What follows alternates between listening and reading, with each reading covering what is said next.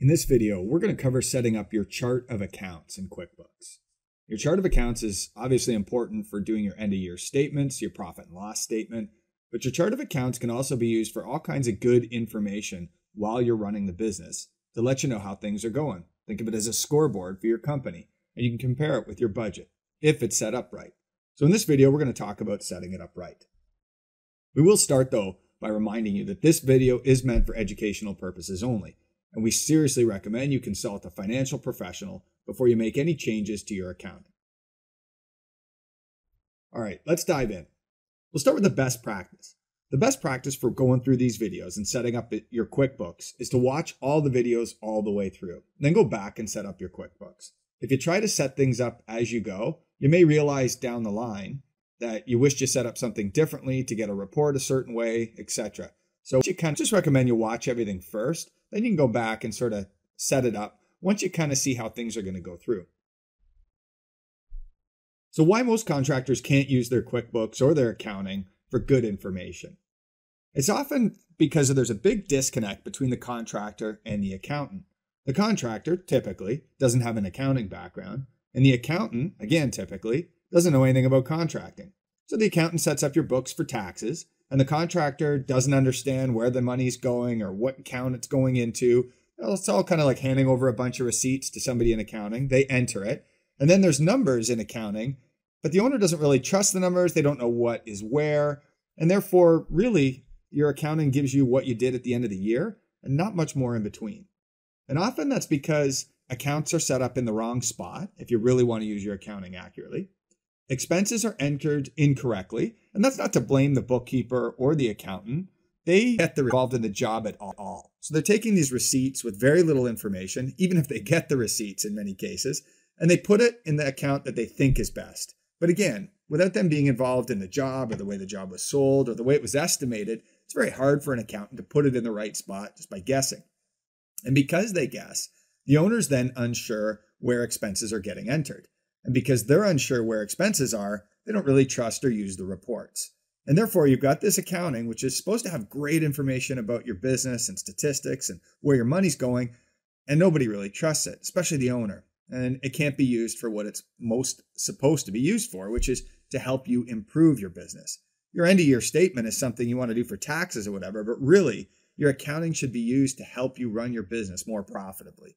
And that's where we want to help you get to. So we'll take a quick look at the order of setup now. Typically, you'd start setting up your accounting with the chart of accounts. That's going to be your foundation for everything. Report. It's going to dictate where also this eventually ends up when you do your P&L or your company-wide reporting. In QuickBooks, there's also this thing called service items. Now, service items link to chart of accounts. So you can use service items when you do transactions, and the service item will dictate what chart of account that the money ends up into. So a service item, for example, could be linked to in a material expense account. When I'm doing a vendor invoice, instead of booking it directly to the material expense account, I can book it to a service item. That service item will tell QuickBooks what chart of accounts to use, but it'll also give us another layer of reporting. So you might ask, well, why would you do that? Why wouldn't you just book it right to the chart of account? Well, what you can use service items for is to break your company down on a little more detail. Your chart of accounts can be a company wide set of revenue and expenses. Your service items, for example, could be used to break up your expenses, say by division.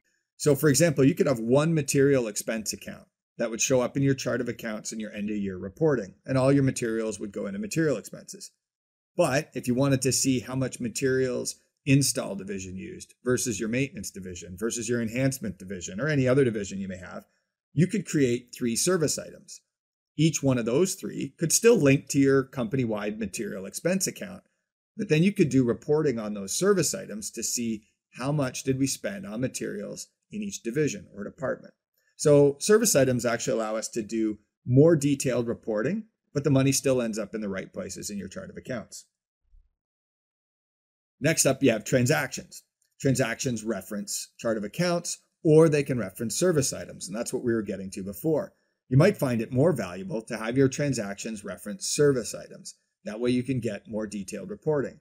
So when you sell stuff on customer invoices, or when you book uh, things like vendor invoices or subcontractor invoices, or even timesheets.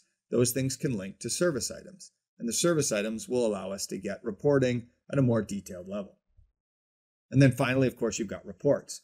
And you will find that if you use QuickBooks Job Costing, many of the reports are driven by service items, which is again why we're recommending you set those up. And we'll cover those in a later video. This is the chart of accounts video. We'll talk about service items later, but for now, I wanted to give you a lay of the land and why we might be recommending a more simplified chart of accounts than you might otherwise be expecting. All right, one of the biggest problems with chart of accounts in contractors is that overhead and cost of goods sold have not been set up correctly.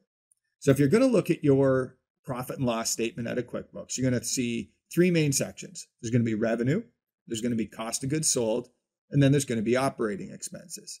And really, that for us means revenue is sales, cost of goods sold is your job costs, and operating expenses is your overhead costs. The problem with how a lot of contractors' books have been set up is that there are job costs in the overhead section and there are overhead costs in the job cost section because it wasn't clearly understood where things should go. And again, there's a disconnect between accounting and the business owner. The business owner doesn't necessarily understand accounting at a deep level, and the accountant has never estimated a job for the contractor, so they don't understand where things should go, and you get this mismatch. You can fix all that with one very simple rule of thumb. Your job costs, the things that are in your cost of goods sold, are costs that you estimate. So things that you estimate, like materials, like your crew labor, like equipment rentals, all these things should be in your job cost section. Or as QuickBooks calls it, your cost of goods sold. Anything that you don't estimate should be in your overhead cost section. Those are all costs that haven't been recovered in estimates. And the reason is quite simple. When we need to recover a cost when we quote it to a customer, we're going to either recover that cost in the estimate or it has to be recovered as part of our overhead markup. There's no other way to recover a cost. You really only have two options when you're bidding a job to a customer. It's either a line item that you've used to calculate the bid, or it's part of your markups that you use when you mark up your cost to get to your final price. And if it's not in either of those, you're going to miss it. So it's really important to look at this. And it's really important to take a good look at your company and realize that for many things, you may actually need to put them in a different spot, i.e., move rentals from overhead to job costs, as an example. You may also need to split things. Payroll is an excellent example for this. There's lots of people in your company that work only in the field, your crews, for instance. So their payroll cost should be a job cost or cost of goods sold. But people in the office, like your accountant, your HR person, your office admin, you never estimate those people. And because of that, they go in your overhead cost. Their wages need to be part of the markups that you add to charge your customers correctly on your estimates. So take a look at your job costs or your chart of accounts right now and make sure that you've got things in the right places. And as we mentioned, some things you may need to split into two. You likely need two sets of payroll, one in your job costs and one in your overhead costs to make sure everybody's getting allocated and recovered correctly. Finally, we strongly recommend you keep everything simple. The more complicated you make your chart of accounts, and most companies do it in their best interest, they think that by getting a detailed chart of accounts, they're going to get really good information about their company. The truth is, it's going to make it so complicated that you're probably not going to trust any of your numbers. Stuff's going to get in the wrong places, and then you don't believe everything. Sometimes less is more. And in the case of landscape accounting, it's probably true. Remember, most of your important job costing is going to come from the field. Labor is probably the single biggest factor in making or losing money. And we have problems just getting a date on a timesheet, much less the right job, the right cost code, the right task, or the right hours. So keep things as simple as you can. Things that are simple tend to be more accurate, more trustworthy, more useful. And if you decide later you'll, you'll want to get a little more detailed, it's a lot easier to expand or get more detailed later than it is to try to simplify later. Once it's complicated, it's hard to roll back. So here's a, just a brief overview of what things are going to look like as you finish this. You're going to have transactions like estimates, invoices, payroll, or vendor invoices. Those transactions instead of referencing your chart of accounts directly, are going to reference service items. And your service items might, for you, represent divisions. So, for example, your install division, your maintenance division, and your irrigation division. Those service items are also all going to be linked to individual chart of accounts. And the chart of accounts is going to be where ultimately your revenue, your job costs, your overhead, and your profit show up in your company reporting. So jobs are going to reference transactions. Your divisions inside your company, your departments, are going to represent service items. And then your company as a whole will be represented by your chart of accounts. Now, moving forward, have a look at your chart of accounts, decide what needs to go where, make sure you've got things in the right places, and you're ready to move forward. But again, we recommend you watch the rest of the videos before you actually make any changes. And if you're stuck or you wish you had more help, we've got samples. In fact, if you look at our GoLMN slash help and do a search on sample chart of accounts, you'll find a sample chart of accounts that you can look at as a template for setting up your own.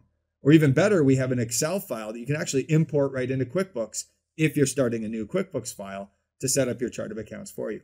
Again, remember these are recommendations, and we strongly recommend that you consult a financial professional before you make any significant changes to your accounting. And if you've got help, we're here for that as well. Either sign on to our live chat, go to golmn.com slash help, or email us at advice at golmn.com. We'll give you the best advice we possibly can. Thanks for watching, and we'll see you in the next video.